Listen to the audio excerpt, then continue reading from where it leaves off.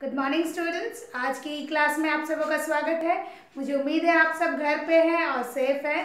तो चलिए शुरू करते हैं आज का हमारा टॉपिक हम लोगों ने जाना कि डिसिप्लिन क्या है। आज हम लोग जानेंगे स्कूल सब्जेक्ट और डिसिप्लिन के बीच में अंतर क्या क्या है। यानी कि डिसिप्लिन और स्कूल सब्जेक्ट जो है सॉरी उसमें डिफरेंस क्या है? कैसे आप पता कर सकते हैं कि उसमें क्या क्या होते हैं? ठीक है? डिफरेंस क्या क्या है? उसके अंतर क्या क्या है? इसके बारे में जानेंगे। तो चलिए शुरू करते हैं आज का हमारा टॉपिक सबसे पहला पॉइंट है स्कूल सब्जेक्ट में देखिए। Development of basic skills and awareness ठीक है? यहाँ पे क्या हो रहा है? डेवलपमेंट ऑफ़ बेसिक स्किल्स यानी कि बुनियादी कौशल और जागरूकता का विकास। स्कूल सब्जेक्ट में बुनियादी मतलब किस तरह से लिखना है, जितने भी स्किल्स है, किस तरीके से पढ़ना है, किस तरीके से लिखना है, किस वर्ड को कैसे प्रोनाउंस करते हैं, यहाँ पे जो बेसिक स्किल होता है रीडिंग राइटिंग स्पीकिंग का। वो बेसिक स्किल्स यहाँ पे होता है और जागरूकता का विकास यहीं पे होता है। स्कूल सब्जेक्ट में ही होती है। जागरूकता मतलब सारे चीज़ों को एक साथ बताया जाता है कि उसका बेसिक क्या होना चाहिए। ठीक है? वहीं पे अगर आप देखेंगे डिसिप्लिन में development in the special specialised knowledge and skills यहाँ पे आप देख सकते हैं क्या है? विशेष ज्ञान और कौशल में विकास। सपोज़ किसी को अगर इंजीनियरिंग करना है तो सिर्फ़ उसी के बारे में वो पढ़ेगा, कोई भी वोकेशनल कोर्स करेगा, लेकिन वो एक सारे सब्जेक्ट्स का जनरल नॉलेज नहीं लेगा, उसमें और ज़्यादा डीप पढ़ेगा और उसके बाद वो विशेष ज्ञान प्राप्त करेगा और कौशल उसका विकास होगा।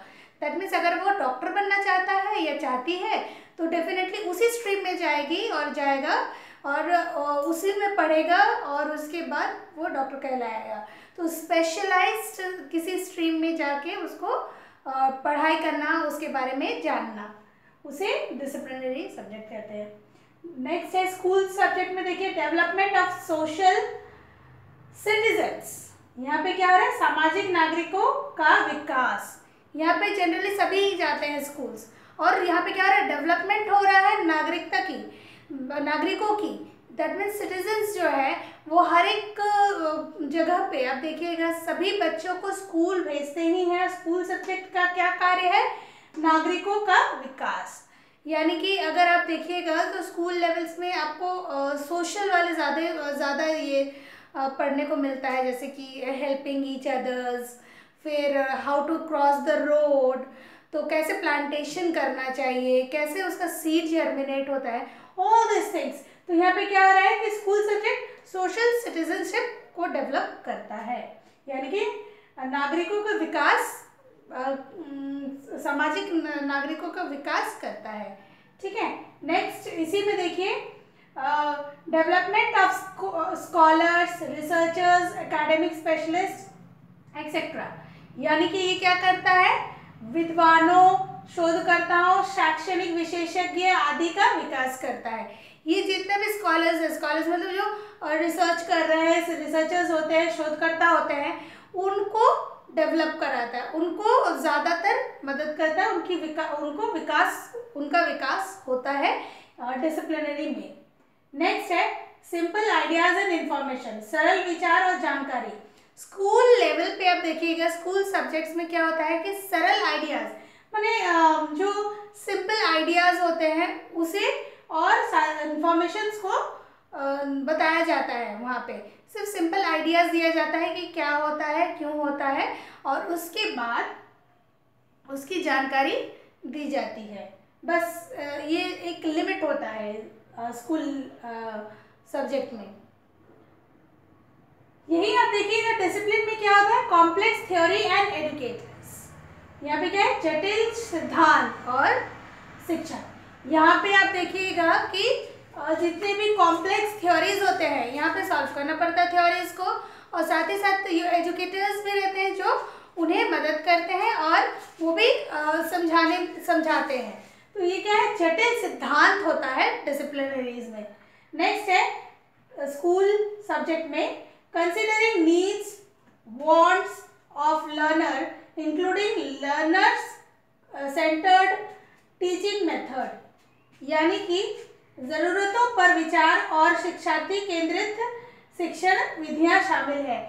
स्कूल सब्जेक्ट में क्या है? चाइल्ड सेंटर्ड जो नॉलेज है, वो दिया जाता है। चाइल्ड सेंटर्ड मतलब होता है कि बच्चों के हिसाब से ही उनको पढ़ाई होती है, शिक्षण जो होती है, वो दिया जाता है।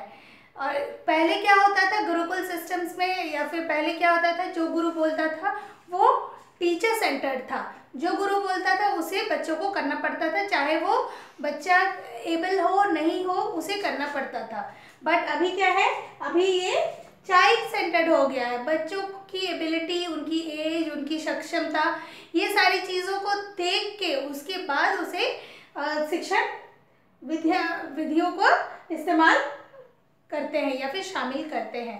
तो यहाँ पे आप देखिएगा कि चाइल्ड सेंटर्ड विधिया शामिल शामिल किया गया है। और वहीं हम लोग देखते हैं डिसिप्लिनरीज में क्या है? Contents are arrange for the development of different specialised skill at complex and wider level ठीक है, यहाँ पे क्या है? जब यूज़ कर रहे डेवलपमेंट ये यूज़ कर रहे हैं वहाँ पे तो वहाँ पे स्पेशलाइज्ड स्किल स्पेशल स्किल्स का यूज़ किया जा रहा है और साथ ही साथ कॉम्प्लेक्स एंड वाइडर लेवल वहाँ पे थ्योरीज वो बनते जा रहा है, वो उसको सॉल्व करते हुए जा रहे हैं कॉम्प्लेक्स को और इजी करते हुए जा रहे हैं। यानी कि विभिन्न विशिष्ट कौशल, जटिल और व्यापक स्तरों के विकास के लिए व्यवस्था की जाती है। ठीक है? यहाँ पे आप देख सकते हैं कि विभिन्न जो भी विशिष्ट कौशल होता है, उसको व्यापक स्तर पे विकास के लिए व्यवस्थित की जाती है। ठीक है? तो ये आज हमारा जो वीडियो है, ये हमारा पार्ट वन है। कल हमारा पार्ट टू रहेगा। और हम लोग फिर से देखेंगे कि स्कूल सब्जेक्ट और डिसिप्लिनरी में क्या डिफरेंस है। मुझे उम्मीद है आज का जो क्लास है, वो आप लोगों को समझ आया है। यदि नहीं आया है तो आज हम इसे क्लास में डिस्कस कर लेंगे और अपने जितने भी डाउट्स हैं, उसे क्लियर कर लेंगे। धन्यवाद।